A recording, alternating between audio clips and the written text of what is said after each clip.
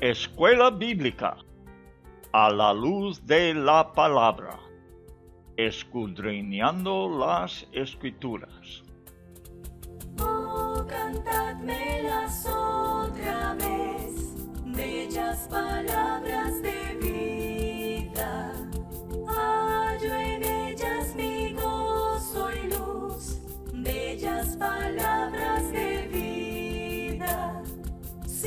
Luz a las Naciones, canal cristiano de comunicación presenta a la luz de la palabra.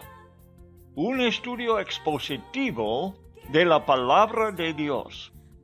Una presentación minuciosa de toda la escritura, porque es inspirada por Dios y útil para enseñar, para redarguir, para corregir, para instruir en justicia, a fin de que el hombre de Dios sea perfecto, enteramente preparado para toda buena obra.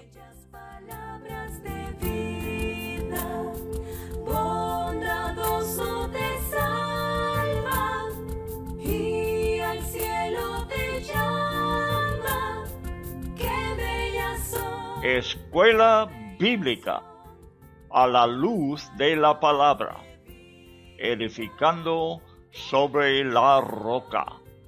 Bellas son, bellas palabras de vida.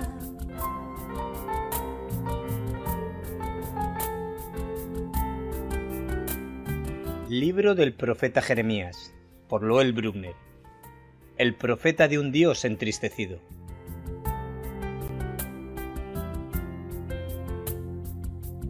Antes que te formase en el vientre te conocí, y antes que nacieses te santifiqué, te di por profeta a las naciones. Libro de Jeremías, capítulo 1, verso 5.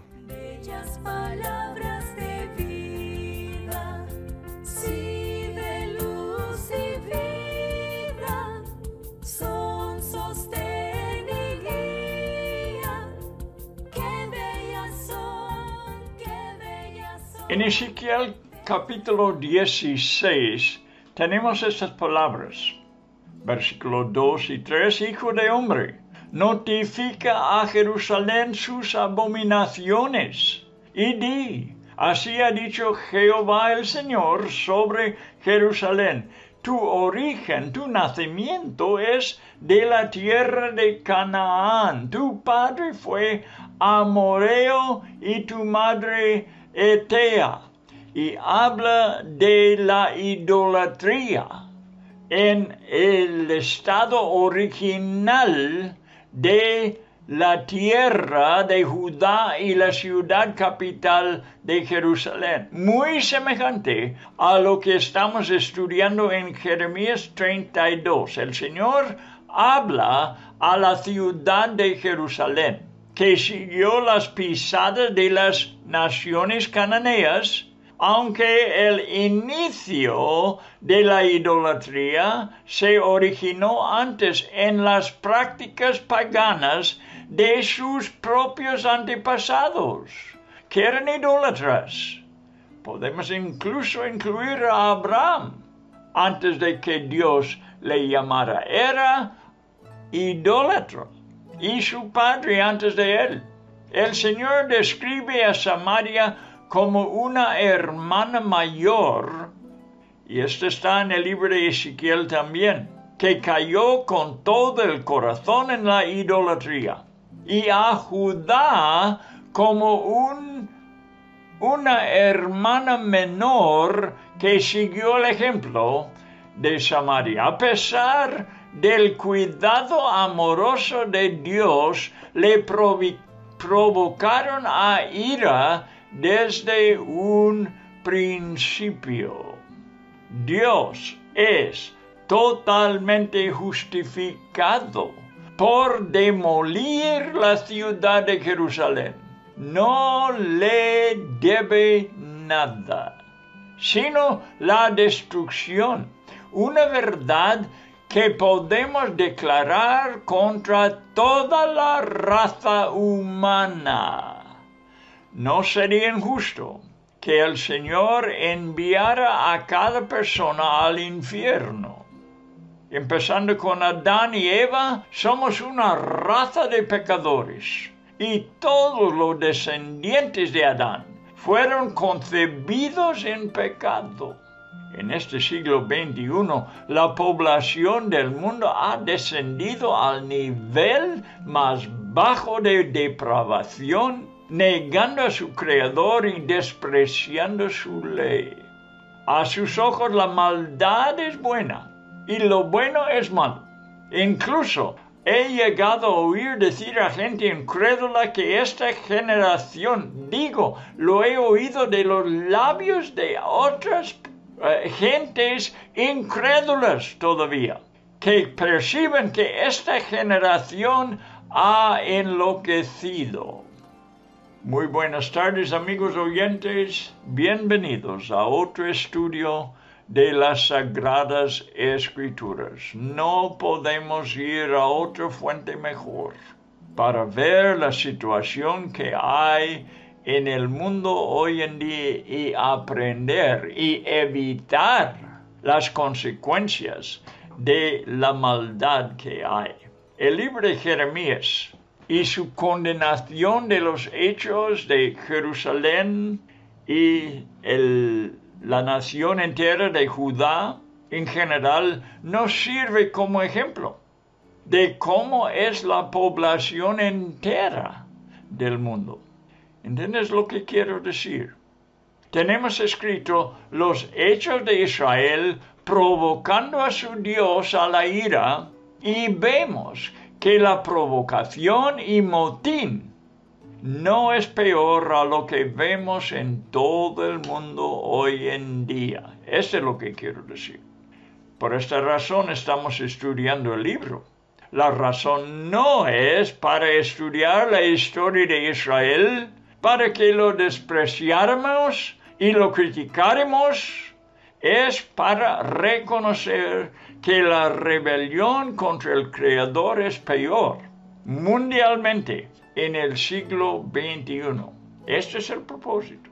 La población del mundo universalmente han aceptado una teoría de evolución que niega totalmente una creación y como resultado también niega un creador. Al negar el creador, está negando toda la decencia, la moralidad, el orden y la ley que él mismo había establecido. De tal forma, ha causado un caos conflictos y guerras, violencias y inseguridad donde quiera. Amigo oyente, espero que aproveches del estudio directamente de las páginas de tu Biblia, que es la mejor fuente de verdad y realidad que pueda ayudarte a formar en tu propia vida y propio corazón un estado firme de estabilidad en tu caminar cristiano en estos últimos tiempos de locura en que estamos viviendo. Que tu vida y la mía den gloria a nuestro buen Dios y todo lo que ha hecho por nosotros para rescatarnos del mundo presente, que seamos dignos del nombre iglesia, que significa un pueblo llamado aparte del mundo. Que no conformemos con la mentalidad que las medias de comunicación intenten sembrar y cultivar en la sociedad. Que Dios nos proteja de un peligro eterno y condenador. Ya os he dicho que Dios nos está dando avisos bastante fuertes por medio de la palabra de profecía. Jeremías está llevando a cabo este ministerio que nosotros vamos estudiando. Así que vayamos adelante. Estamos en capítulo 32 de Jeremías. En el tiempo de Jeremías, grandes y pequeños se unieron para provocar a Jehová. Ambos, Israel en el norte y Judá en el sur. La nación dividida, ¿verdad? Que hallamos en el tiempo de Jeremías. Y con sus reyes, sus príncipes, sus sacerdotes, sus profetas y los varones de Judá y los moradores de Jerusalén. Estoy citando el versículo 32 al decir estas palabras. Los mundos gubernamentales y religiosos y toda la población eran enemigos innatos de Dios. Déjame leerlo. Por toda la maldad de los hijos de Israel y de los hijos de Judá que han hecho para enojarme. Ellos, sus reyes, sus príncipes, sus sacerdotes y sus profetas y los varones de Judá y los moradores de Jerusalén y me volvieron, dice el siguiente versículo, la cerviz y no el rostro. Y cuando los enseñaba desde temprano y sin cesar, no escucharon para recibir corrección. Le dieron la espalda a la autoridad suprema del universo. Imagínalo que es digno de la reverencia más profunda y de que todos se humillan postrados en adoración delante de Él. Aún peor, despreciaron la tan benigna atención y cuidadosa instrucción que les había dado. Vea versículo 34. Antes pusieron sus abominaciones en la casa en la cual es invocado mi nombre, contaminándola. Y edificaron lugares altos a Baal, los cuales están en el valle del hijo de Inom, para hacer pasar por el fuego sus hijos y sus hijas a Moloch, la cual no les mandé, ni me vino al pensamiento para eh, ni me vino al pensamiento que hiciesen esta abominación para hacer pecar a Judá. En lugar de él, el pueblo de Israel, el pueblo de Judá, adoraron a su archienemigo echando a las profundidades de la crueldad y la perversión para poder hacerlo. El valle del hijo de Inom fue un lugar ignominioso donde sacrificaron niños ofrecidos a Moloch, una imagen que representa a un demonio sumamente horroroso. Tal práctica es opuesto a lo que la naturaleza divina aprueba y no encuentra lugar alguno en la hermosura de su personalidad. En nuestra generación, la humanidad ha llegado aún más allá de la maldad de aquellos tiempos, sacrificando millones, digo, miles de millones de bebés, matándolos en el seno de sus madres, no delante de un ídolo, sino antes de que pudieran aún nacer, los sacrificaron. Vivimos en el tiempo más salvaje y impiedoso que ha existido jamás en la historia mundial. Quiero leer el texto desde versículo 36 en adelante. Estamos en Jeremías 32. Y hay dicho por qué estamos ahí. No es para ver solamente la historia tan equivocado de Israel en los días de Jeremías, sino para que veamos que el mundo no es mejor. Universalmente estoy diciendo, podemos ver las mismas barbaridades y peores en el siglo XXI, en nuestra vecindad, en nuestro barrio, en nuestras ciudades. La misma maldad, la misma rebelión, la misma, el mismo motín contra Jehová. Un profeta tiene un ministerio de esperanza. Estamos viendo unas características del don de la profecía. Hemos hablado de dos, dos características en, el uh, programa anterior. Un profeta puede saber qué es lo que es estar en confusión.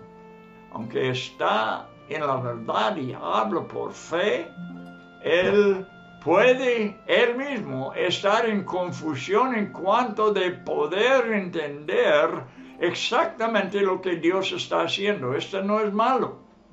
Esto no es eh, pecado. Este es normal, ya que estamos sirviendo a un Dios tan grande en inteligencia que no logramos entender con nuestras pocas facultades lo que Dios está haciendo. Un profeta puede saber lo que es estar en confusión.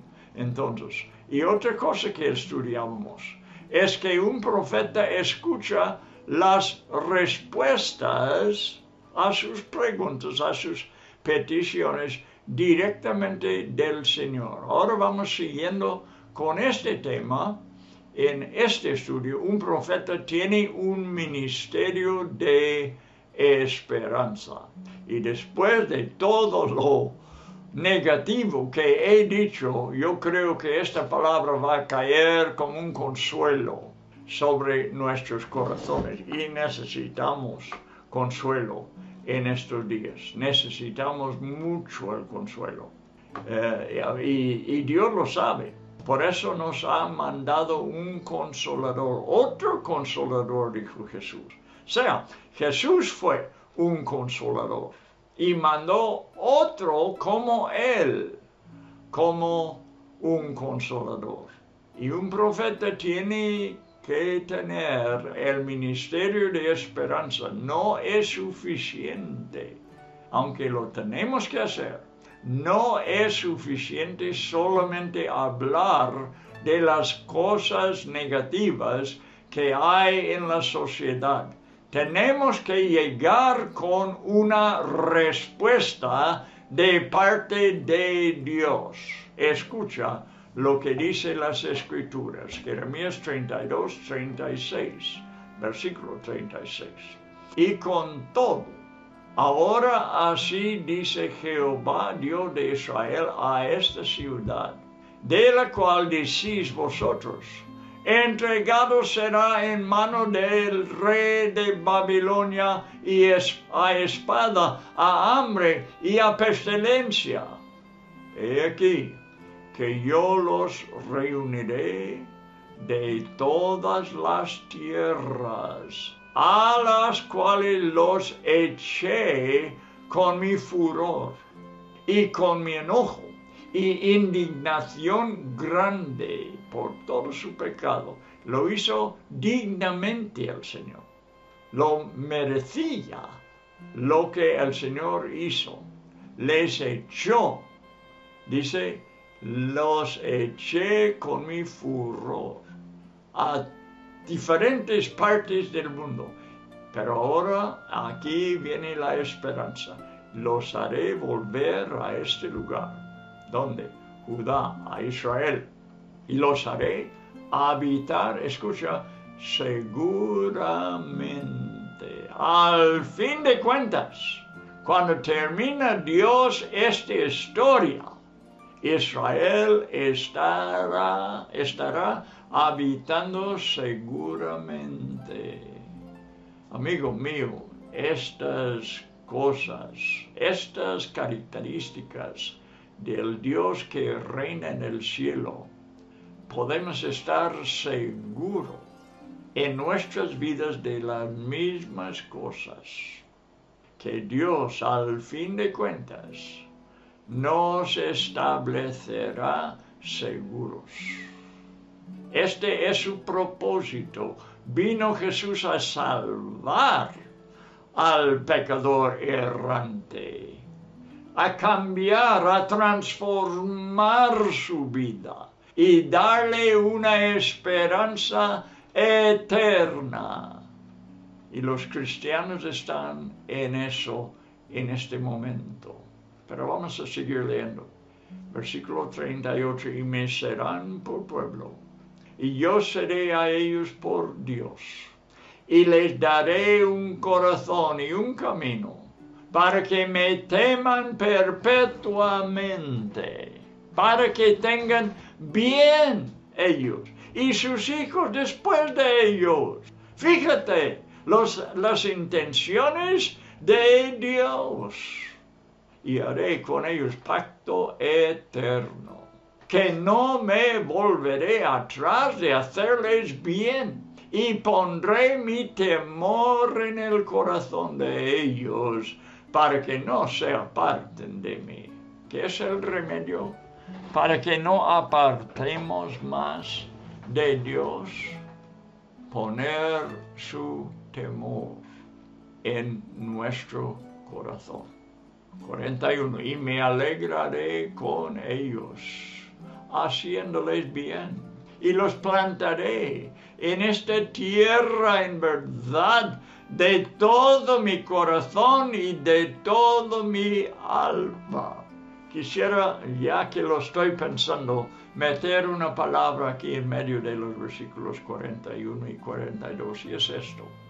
Como he hablado de que la rebelión, el motín de Israel, no es para que nosotros estemos despreciando a esta nación, solamente viendo sus errores y su pecado sino que es un ejemplo.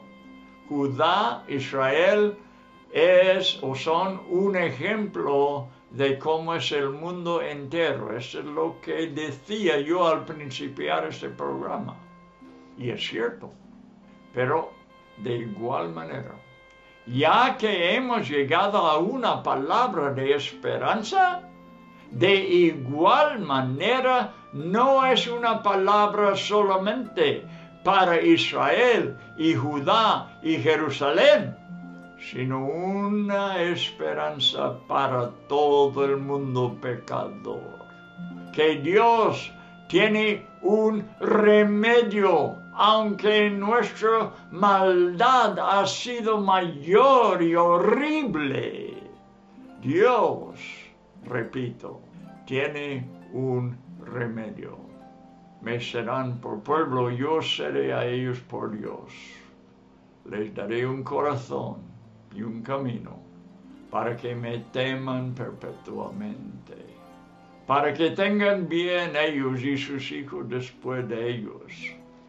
Bien, versículo 41, y me alegraré con ellos, haciéndoles bien y los plantaré en esta tierra en verdad.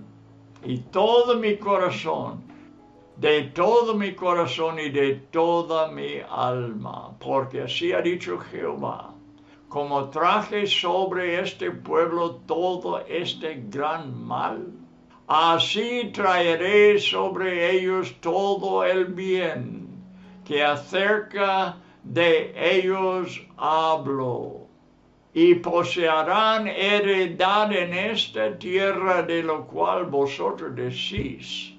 Está desierto, sin hombres y sin animales, es entregado en manos de los caldeos. No, no, Dios está contradiciendo esta mentalidad de desastre en que están viendo su nación.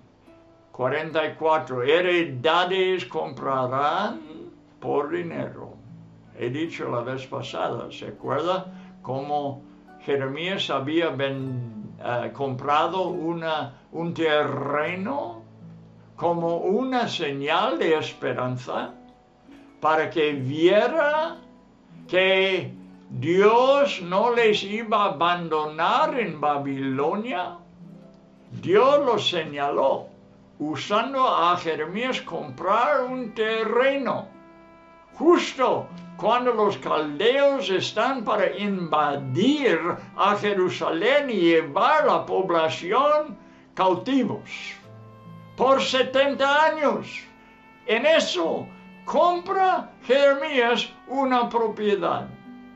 Ahora pensando naturalmente, sin tener esta profecía de Dios, todo el mundo diría, estás loco, Jeremías. ¿Compras tú un terreno que va a estar en las manos de los enemigos? ¿Qué estás haciendo? Pues está confiando en la palabra de Dios, que ellos van a volver de Babilonia y, es- Babilonia y estar otra vez en su patria. Heredades comprarán por dinero y harán escritura y la sellarán y pondrán testigos en tierra de Benjamín, donde era el pueblo de Jeremías, y en los contornos de Jerusalén, y en las ciudades de Judá, y en las ciudades de las montañas, y en las ciudades de la Cefela, y en las ciudades de Negev, porque yo haré regresar sus cautivos, dice Jehová. Y su palabra es más segura que la misma vida. Jeremías comparte correctamente las intenciones del Señor al profetizar acerca de la conquista babilónica sobre Jerusalén. Esto todo fue cierto. Y al declarar que los ciudadanos conocerán la matanza por la espada, el hambre extrema por el asedio y la enfermedad por la pestilencia, como hemos leído en versículo 36, con todo. Como he dicho estas cosas, dice el Señor en esta porción, también yo cumpliré mi palabra en cuanto de la restauración. Esto es lo que Dios está diciendo ahora. Sin embargo, si verdaderamente ha oído de Dios Jeremías, no será todo lo que compartiría. Sea, no hablará solamente del castigo, de la disciplina severa que manda Dios para corregir a su pueblo. Nunca, nunca un ministro, un predicador, un pastor solamente comparte de las cosas que Dios va a hacer contra la humanidad por su pecado. Este no puede ser el fin de ningún ministerio, sino el predicador, el pastor, el evangelista o quien sea, tiene que dar esperanza. ¿Por qué? Porque así es Dios y así tiene que ser su siervo, compasivo y alguien que proclama una palabra última de consolación y de esperanza. No será todo lo que compartiría el profeta, sino que veremos ahora el destino final para todo Israel. Decía Billy Graham muchas veces, somos el pueblo más positivo que existen en la tierra, porque nosotros sabemos cómo va a terminar las cosas.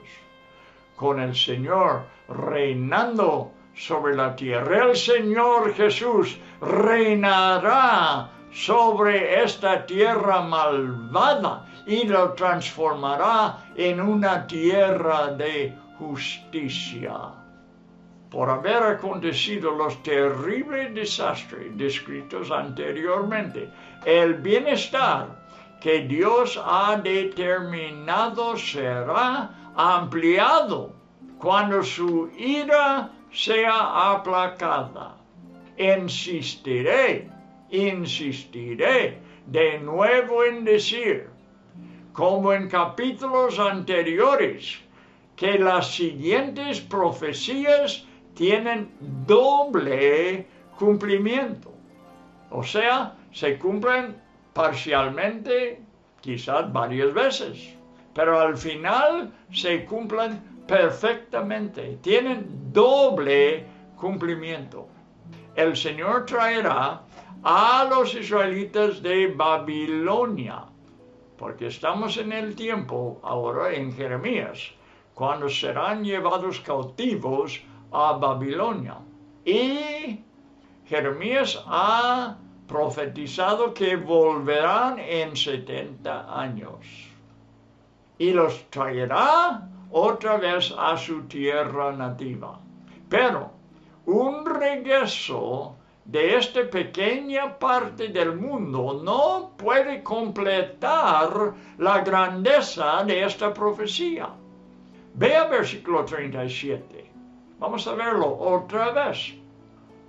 He aquí que yo los reuniré, escucha, de todas las tierras a las cuales los eché con mi furor.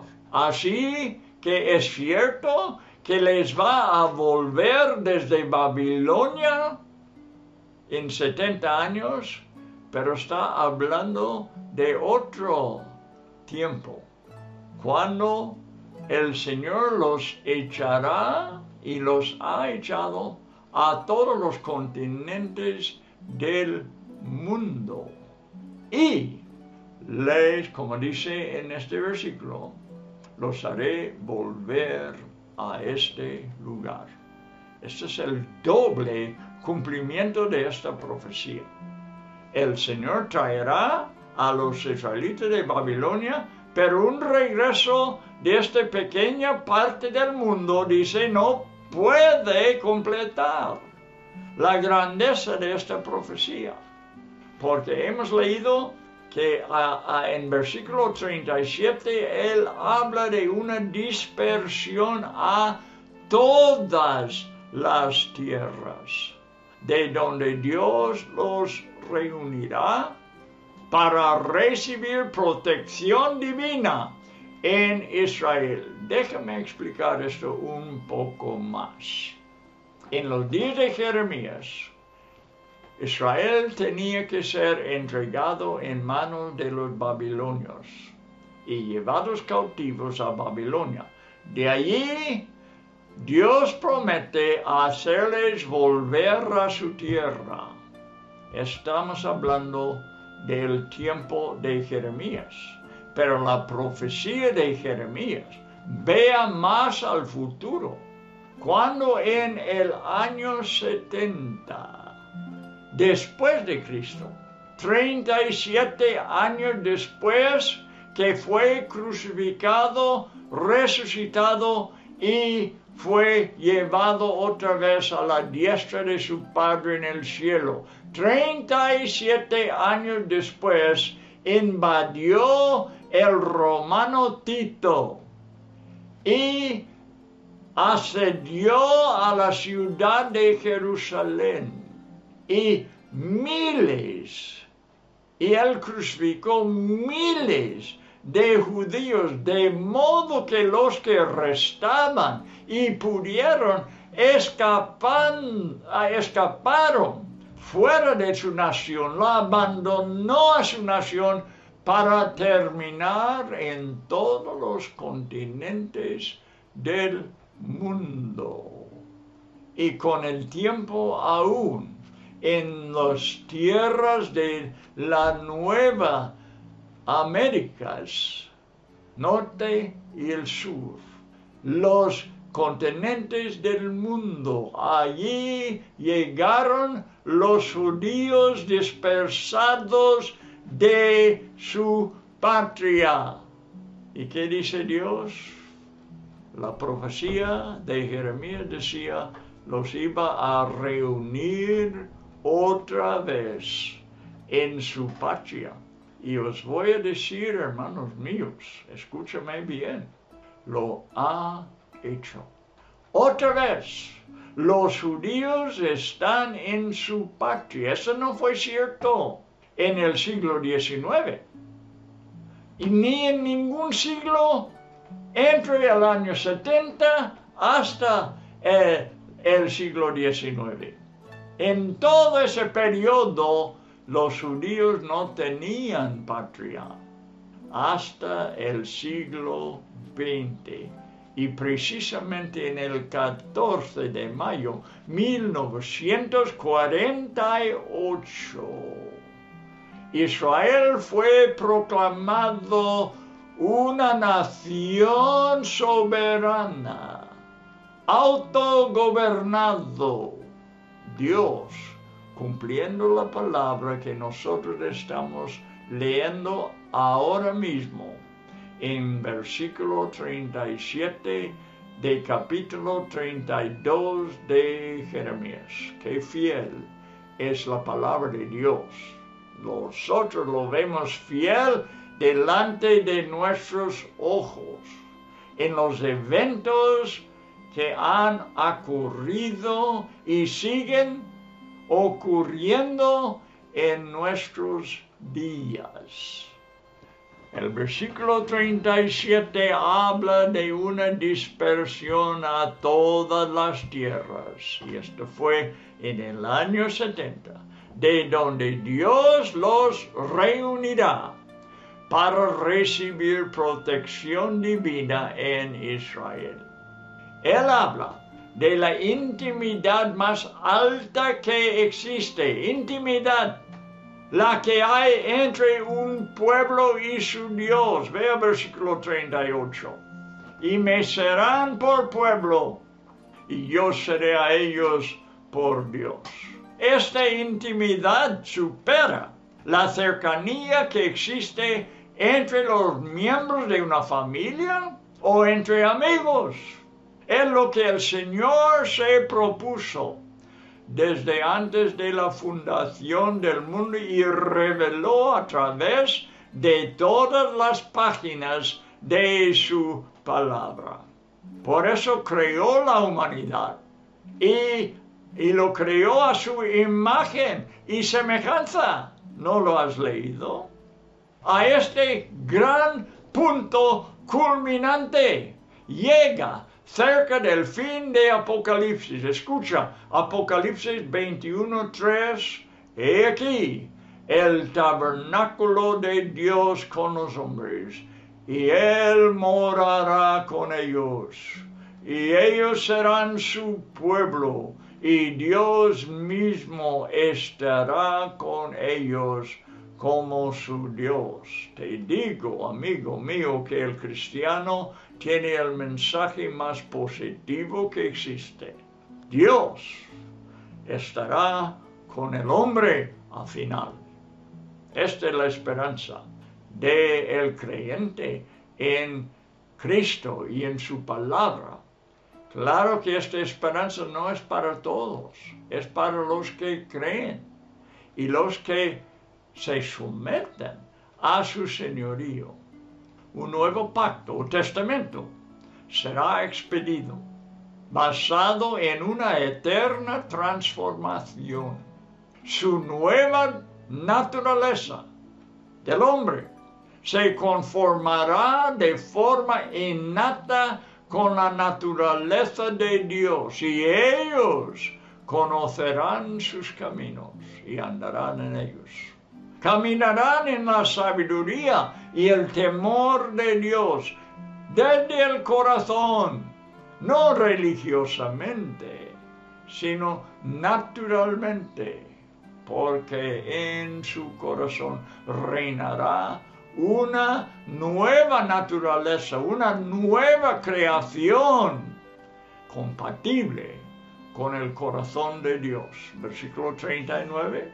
Y les daré un corazón y un camino para que me teman perpetuamente, para que tengan bien ellos y sus hijos después de ellos. Y nunca más habrá necesidad de castigo como lo están pasando en el tiempo de Jeremías.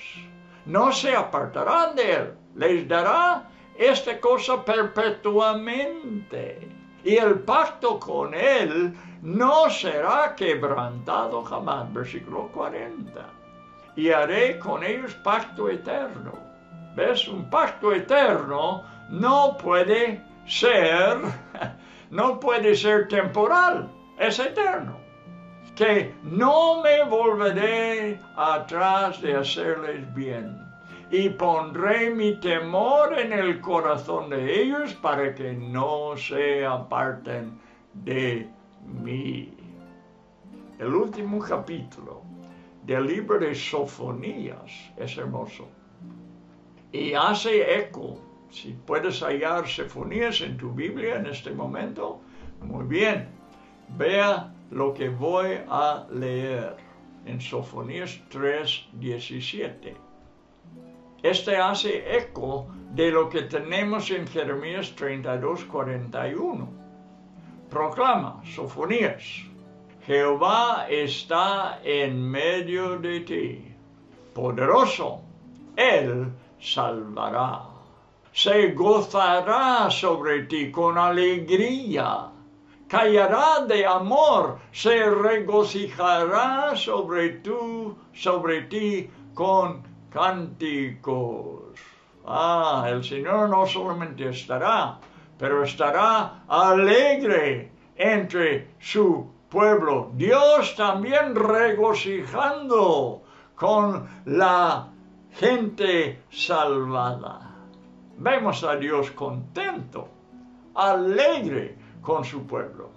No tiene reservas de su futuro. Desde el corazón y el alma, Él al establecerle firmemente. Aunque han conocido las severas consecuencias de su disciplina, ahora vivirán su fiel bondad. Versículo 42, porque así ha dicho Jehová, como traje sobre este pueblo todo este gran mal, así traeré sobre ellos todo el bien que acerca de ellos hablo. El capítulo termina garantizando el futuro, que fue ilustrado con la transacción del negocio de Jeremías con su primo, como hemos estudiado en el pasado.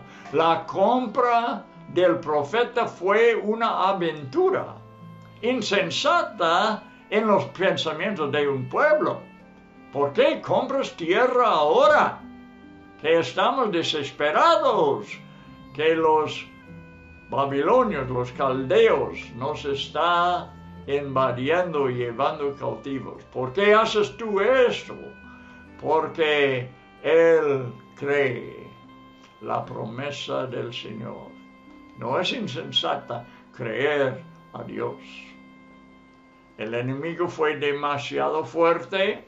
En su tiempo la desolación de la tierra demasiado devastadora, pero no fue así en los pensamientos de Dios. Ordenó a su profeta hacer la compra simplemente para proveer esperanza en su severa crisis. El dominio de los babilonios sobre Israel terminará. Babilonia en verdad experimentará una desolación perpetua. Ellos sí, eternamente. Después de 70 años serán eh, eh, derrotados por los persas. La carta de venta entre estos dos primos de que hablábamos será descubierta en 70 años y caerá en manos del heredero correcto. Y solamente es un ejemplo del trato entre los israelitas en el futuro. Leeremos versículo 43 y poseerán heredad en esta tierra de la cual vosotros decís está desierto, desierta sin hombres y sin animales. Es entregada a manos de los caldeos. Sí, pero por un tiempo. Y después Dios restaura todo.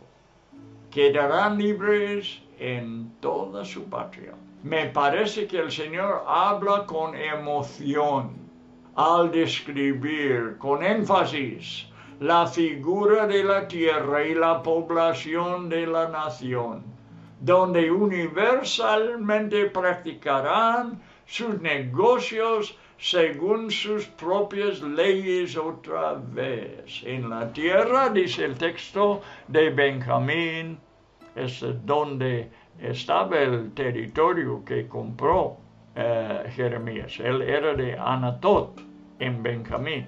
Y en los contornos de Jerusalén y en las ciudades de Judá y en las ciudades de las montañas, en las ciudades de la Cefela y en las ciudades del Negev. La gran lección para cada uno de nosotros es lo siguiente la revelación de Dios mismo dada en este capítulo es viene a nosotros revelado como el Dios de la esperanza. Siempre Dios da esperanza, da un remedio y Él es todopoderoso para cumplir lo que dice. Si Dios ha sido y es fiel al judío, entonces será igual de fiel a nosotros, tú y yo, en el siglo XXI, hermano mío. A pesar de nuestra indignidad, porque Él no puede negar su propia naturaleza. Pablo nos da esta consolación. Romanos 15, 13. Una palabra para cada oyente que es cristiano, que ha puesto su confianza totalmente en Cristo. El que estoy hablando a la iglesia en este momento. Los seres redimidos por Cristo Jesús, que hemos sido salvados de la condenación y la muerte. Escucha la palabra de Dios para nosotros ahora mismo. Romanos 15, 13. El Dios de esperanza. Mira cómo se revela. El Dios de esperanza. Os llene de todo gozo y paz en el creer, para que abundéis en esperanza por el poder del Espíritu Santo. Ay, amigo mío, qué esperanza nos da el Dios de esperanza. Y el apóstol tan lleno del Espíritu Santo, tan lleno de el Dios de esperanza, nos pone esta palabra. Lo voy a repetir el Dios de esperanza os, hermanos, os llene de todo gozo y paz en el creer, para que abundéis. El Dios nuestro es generoso además, para que abundéis en esperanza. No apenas esperando, no, no, abundéis en esperanza. ¿Por cuál poder? ¿Tu poder? tu capacidad, no Señor, Él nos da el Espíritu Santo para que lo cumple en nosotros por su poder, que es omnipotente, por el poder del Espíritu Santo. Romanos 15, 13. Dios está hablando ahora a Jeremías con una fidelidad absoluta. La palabra de Dios no está presa. Pablo lo dijo en su día, cuando estaba encarcelado. Dice, la palabra no, la palabra no está libre. Estaba mandando desde la cárcel la palabra de Dios a los creyentes. Y también fue así en el tiempo de Jeremías. Vamos a leer cinco versículos del capítulo 33, los primeros cinco versículos y terminaremos el estudio para hoy. Y creo que este estudio, porque estamos siguiendo versículo tras versículo la palabra, y que llegamos al punto ahora, no es plan mío, yo estoy yendo versículo tras versículo. Es el plan del autor de estas palabras, el Espíritu Santo, que estoy solamente siguiendo, como te digo, versículo tras versículo, y que llego a una palabra de una esperanza sorprendente, asombroso. Vino palabra de Jehová a Jeremías la segunda vez estando él aún preso en el patio de la cárcel, diciendo, Así ha dicho Jehová que hizo la tierra, Jehová que la formó para afirmarla. Jehová es su nombre, clama a mí. Ah, escucha esta palabra, amigo mío. Esta palabra voy a estar en el siguiente programa hablando y enfatizando esta palabra tremenda. Pocas palabras hay como esta en todo el Antiguo Testamento. Dice, clama a mí y yo te responderé y te enseñaré cosas grandes y ocultas que tú no conoces. Una garantía porque así ha dicho Jehová Dios de Israel acerca de las casas de esta ciudad y de las casas de los reyes de Judá, derribadas con arietes y con hachas, porque vinieron para pelear contra los caldeos, para llenarla de cuerpos de hombres muertos, y los cuales, a los cuales herí yo con mi furor y con mi ira, pues escondí mi rostro de esta ciudad a causa de toda su maldad. Y va otra vez hablando de la esperanza en medio de este juicio que está cayendo sobre la ciudad. Hay esperanza, pues. Y amigo mío, vamos a terminar este programa creyendo en el Dios de la esperanza, el consolador que viene aquí a la tierra mandado por el Padre y el Hijo para consolar a su pueblo. No os dejaré huérfanos, dijo Jesús. No, no nos ha dejado huérfanos. Nos ha puesto en su familia. ¿Cómo vamos a ser huérfanos?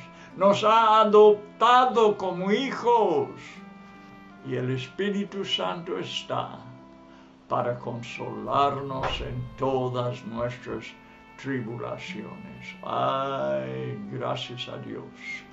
Qué gratitud debe saltar de nuestro corazón. Qué gozo por tener un Dios que es así. Estamos contentos, alegres, satisfechos en Él. Y esta bendición que, de que hemos hablado hoy, quisiera yo y Dios que descansa sobre cada oyente hoy. En nombre de Cristo. Que Dios os bendiga cada cual. Hasta la próxima vez.